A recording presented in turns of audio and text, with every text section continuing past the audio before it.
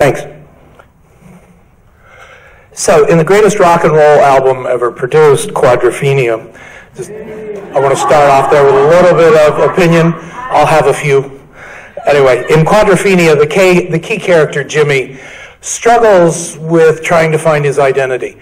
And the album gets its name from the idea that there's four persona, four images, four ways of seeing himself that he's struggling with, and he's trying to find the real, who, you know, can you see the real me? We have the same issue in higher education. Kate Bowles yesterday morning challenged us to think about the marketization of the university and the expanding university. Su Ming this morning challenged us to think about alternative economics of this stuff. I've actually been, I am an economist, and I've been kind of, um, I didn't choose the research life, and research life has now chosen me. Um, so I've been kind of trying to do that. And the first thing I want to do, so the price of admission here is you do have to suffer through a mini economics lesson. So the first two slides. Uh, first thought is um, economics is not just markets. Uh, that's something that's been sold to you uh, in politics popular media and stuff like that. There's a rich literature about a whole bunch of stuff. As Kate uh, Raworth, who's author of Doughnut Economics, points out, there are four methods or categories the provisioning of goods that in, in our world, goods are not necessarily material, it's things that improve welfare market is only one of them. So what I'm going to hypothesize is, is, is, get a little bit closer to that. So the second economics lesson here is a bit of, almost all my economics classes have to begin with translation. Because there's a lot of terms in economics that we've thought through for a long time, and we've got fairly clear definitions that are clear to us, but unfortunately the words are used differently elsewhere. And so I'm going to talk about institutional analysis here. Um, there's a bit, a lot of buzz, there's a lot of talk about this system. In general, economists, that's not necessarily helpful to us to talk about the system because all of these levels are systems. Um, so what we tend to talk about in institutional economics is that there's different levels. And uh, likened to the work level, and then there's an organizational level, and then there's institutional level. If I could offer two, and, and in most of you in casual conversation, when you say your institution, you are probably referring to what an economist would think of as the organization. Because you're thinking about your institution as my university, you know, Lansing Community College or something like that. That is what we would call the organization. When we say institutional, we're talking about a different level. So I'll offer you two brief, hopefully brief, metaphors to try to get this across. Um, think of the world of sport. You may want to play a position. That's your work. The choices you make in order to play goalie or some other position, that's your work. That's the work level. The team you play for is the organizational level. But the game and the rules that go with the game. So, for example, the rules of soccer, or I'm sorry, football, um, that's the institution. Chelsea is the organization, or you know whoever else that, or if sport doesn't work for you, think in terms of music. You may play an instrument. That's the work level, and choices are made at that level. The institutional level is classical orchestra or rock and roll band. Those are two different institutions. There's kind of a set of formal, uh, sometimes formal, but oftentimes informal rules as to what constitutes each of those institutions. Now, within that institution of rock and roll, you may have something like The Who or something like that. So I'm going to focus here on institutions. And getting back to quadrophenia, here's the point I would like to make. Higher ed is a unique beast, relatively unique beast, in that it is actually a blend of all four major institution prototypes. And it always has been. And when I say always has been, let's go back centuries, even millennia, to, to the beginnings of higher ed. And that's been not, that's not a bad thing. It's been kind of necessary. The catch has been that for centuries it's been rather stable as there was a big core that I'm going to argue is a commons. And then around that was a little bureau thinking and a little bit of firm thinking that were necessary to buffer, buffer and make the commons possible. So, to, to illustrate these four kinds of thinking, let me go through the prototypes briefly. There's, there's, there's tons to each one of these. There's what I call the state and the bureau. And the state and the bureau, and there's on the other side the market and the firm. I find it ironic. Kate's keynote talks about people turning higher ed into trade, you know, measuring it as trade flows. And I had chosen this symbol for the firm thinking and market thinking, which is a map of world trade flows. Um, kind of ironic there, are interesting. They're very similar, but they have different objectives. Firms look to, I mean, the ultimate goal is accumulation of wealth. It doesn't have to be for profit. Could be accumulation of something else, prestige or whatever. And they look to, I mean, that's the name of the game. The state and its extensions, on the other hand, are all about control and universality and maintaining stability, primarily of the society. Now, what they do share is that in both cases, they're very interested in scale. Because the one wants to accumulate as much as possible. The state wants to make sure everything stays stable and controls it. And scale in both of them translates into hierarchy and control. That brings measurement. Now, there is an alternative way of provisioning things. There is the commons. For those of us in the Western developed world, it's oftentimes easy to miss the idea of a commons than that it's real. Let me remind you, two out of the seven billion people on this planet, over that, depend for their livelihood, for their existence, for their subsistence on a commons. And that's not necessarily meaning poverty they don't live in the state firm dichotomy that we oftentimes think of. So, most of you are familiar with the idea of individual initiative, and you can relate to that. I want to talk a little bit about the commons, but before I do that, I've got to dispose of a myth. Garrett Hardin's The Myth of the, or his paper, The Tragedy of the Commons. If you are an environmentalist, a biologist, an economist, a sociologist, anything else, if you're teaching Garrett Hardin's Tragedy of the Commons, stop. There is no scientific basis. There is no historical basis. There is no empirical evidence. It is a fantasy of Garrett Hardin's imagination, and it's not only that, but it's the fantasy of a man who envisioned a wall on the southern border of the United States long before Donald Trump for many of the same reasons. What he imagined and fantasized as a commons isn't. It's actually an environment in which there's free access. All the users are isolated. Nobody cares about anybody else. In fact, there's not even communication between individuals. It's absolutely free access. There are no social norms. Everything is monetized, and everything can be unlimited monetized, and everything is transactional based. Elinor Ostrom won the Nobel in large part for her work researching the commons. Um, the only woman to win the Nobel Prize in economics in her research and the research of the Bloomington School, they've gone out and researched over a thousand, many, many more actual commons throughout the world, all over the world in all kinds of situations. This is not a commons. That's not how it works. And those are sustainable things. So, what is a commons? Well, there's a lot of features, and I could go off for an hour probably, or a couple hours, but okay, I could go a couple days, um, on any one of these.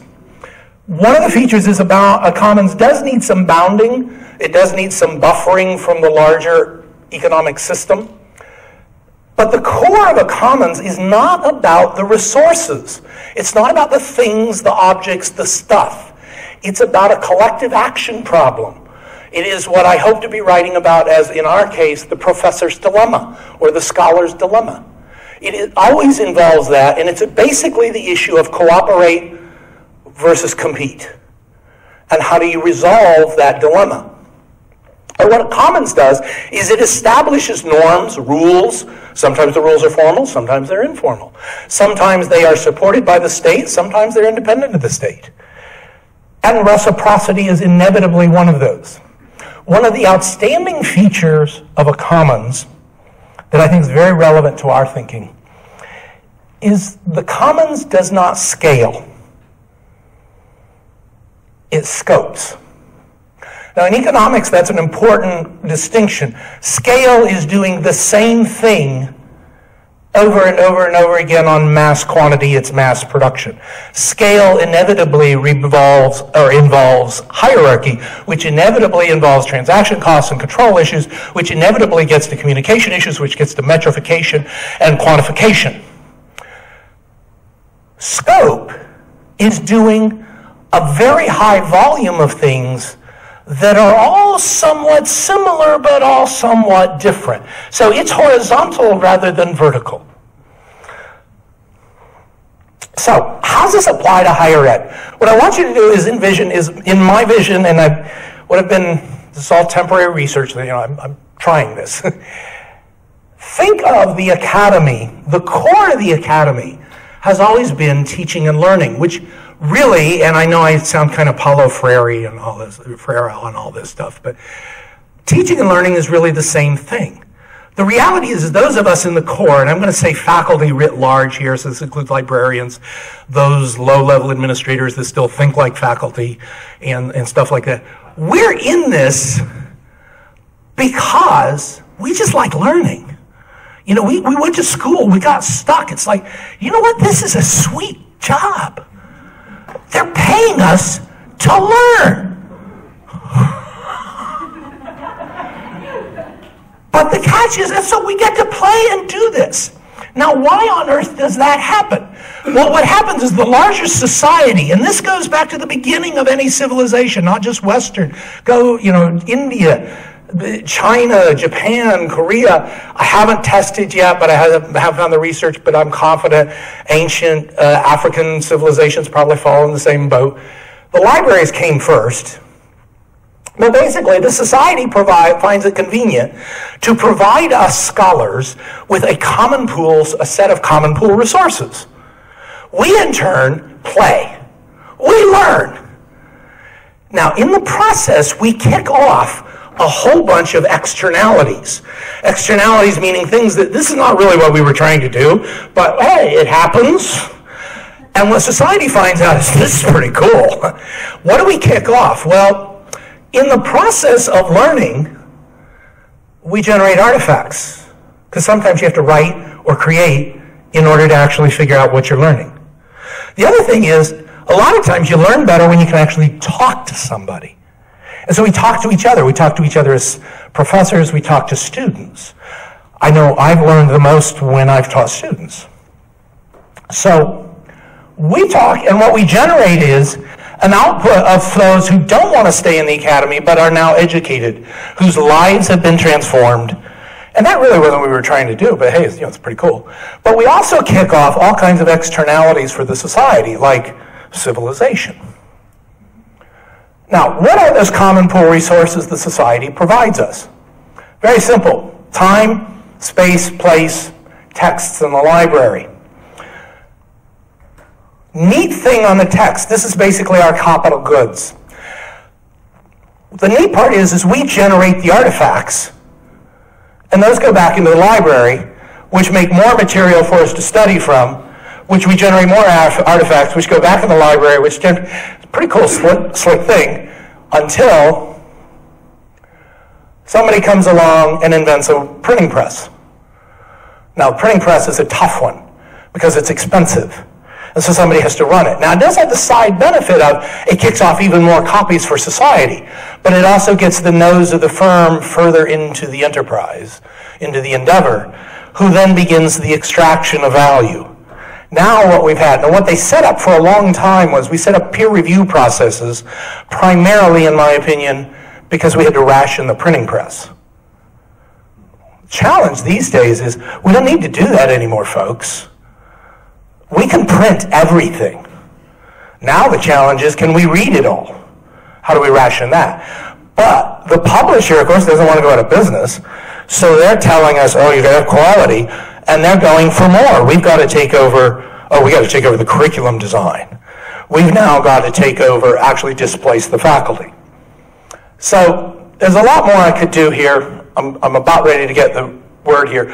One thing I can tell you, though, is out of the Ostrom work about a commons, the one thing that is essential absolutely for the perpetuation of any commons, we've got to resolve and maintain our norms and governance of how we behave and how we handle the collective action problem. And that translates into do we help each other or do I spend all of my time just writing my stuff? It means it's the difference between do we spend some time in the governance of our organization or do I maximize just my pure output, self output? But also, the key to any commons is communication. In lab experiments over and over again, as well as the field work, it's communication person to person, real people to real people that establish the norms, that enforce the norms, that make that possible. So I'm going to finish with a quote from Stephen Hawking that I got from the Pink Floyd album. So we've gone from the Who to the Pink Floyd. Our greatest hopes can become reality in the future. All we really need to do is keep talking.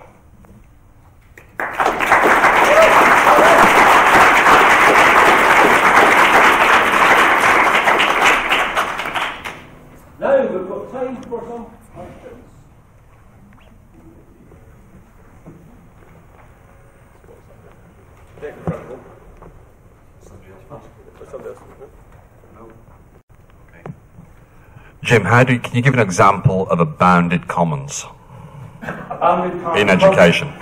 Um, well, historically, the bounding on the academic commons was the fact that we all had to be in one place. And, and that's actually one of our challenges institutionally. Institutions are not designed, they emerge, and they're usually incredibly stable over time um, until all kinds of you know, technology or something else changes. And the fact that we can do this open technology has actually challenged that, which now means it's kind of free range. But generally, yeah, I mean, if you look at natural commons, I mean, natural resource commons and stuff like that, they're all very well bounded. I mean, the people who are members of the commons community know what the limits are. You know, um, you don't, if you're not part of that community, don't go fishing in that bay. You know, they, they won't do something or, uh, you know, if you, if you, that kind of stuff. And that is actually, I think, in some of our respects, if I would translate, and this is a real early, I, I would not put this as conclusion yet. I think we need to seriously have conversations about licenses. I'm not at all convinced that CC BY is helping us because that's basically free access to everything. And that's basically saying, hey, everybody come on in and you have no norms and no obligations and no re- res- responsibility for reciprocity. You know, I'm a little more attracted to CCSA, and I'm not even sure of that, but you know, th- this is stuff where the open source community has already been through a lot of that. But yeah, it's it's it's going to be a challenge for us to define what's new. And one of the slides I, I skipped over. One of the challenges for us is to not just try to replicate the past I was impressed last year at OER at Bristol. There's this ship that was one of the first big steamships, and the investors required that there be masts on it because they were afraid passengers wouldn't sail on a steamship that didn't look like a sailboat. at times, I wonder if we're not doing the same thing at times. so. Oh, oh, sorry. Sorry if I missed you. I'd get this uh, lovely young man to come running up and down the stairs. um, no, what I, I mean, I think what you've talked about here is so important. And it struck me that in the earlier session where we were hearing about the overview that the Hewlett folk have done on the research and the implementation that's happening, that this wasn't in that in that database. And it seems to me this is a very area, a very important area of work to be growing.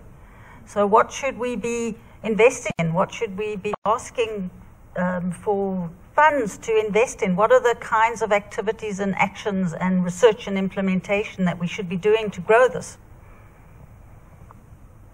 Well, you could send mass quantities of money to me, but that's probably not the most effective. um, that's a good question. I don't know. I, you know, I don't know that I've gotten to that point. And I, we need to talk about it. and we need to work on these structures. Um, I don't know.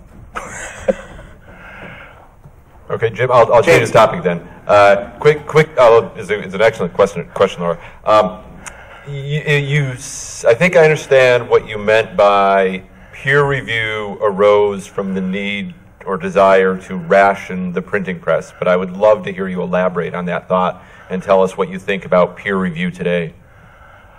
Um, I think it's. I think the concept. I mean, meritocracy is often the, the cover story for what is really maintaining a hierarchy of power. And I know, for example, now I have a bias. I am in a field where that hierarchy of power and that gatekeeping of peer review has been abused to the point of perpetuating a sub a particular orthodoxy view, the market fundamentalist, to the point where you can't get mainstream textbooks that say anything else. I mean, you just now, I mean, CORE and, and Respect are doing some stuff. But yeah, it's, it's been a challenge. So I think we need to think, yes, there's a nugget of the issue there, which is we can't read everything. How do we know what's good? Well, let's try to think more in networks. I mean, in general, I know what do I. I read something to teach in class and I make the decision myself because I'm qualified to teach and I know whether this is going to work. I mean, I forget his name. There's a, the guy at SUNY that used to uh, pleads with his fellow faculty. He's like, "How do you know if the quality of the textbook's any good? Read it." um, but beyond that, you know, how do I filter and do the other stuff? I don't look anymore for, oh, well, it's in this journal, I must read it. No, I'm doing things that are much more network based. So there are things like if, you know, if Brian Lamb posted something, or James posted something, or, or Billy does, or, you know, Bonnie, and I see that in my network, whether it's Twitter or somewhere else, I'm going to go, oh, well, that's at least worth a glance. And, I, you know, because if they thought it was important, I trust them. And it's, it, you know, I think we need to reestablish this trust stuff. This idea of measuring it all uh, is, is a fool's chase. You know, we're trying to measure things that can't be measured. I think at this point we have to close the Commons, I'm afraid. uh, and thank you, thank you, Jim. And thank you, other speakers as well.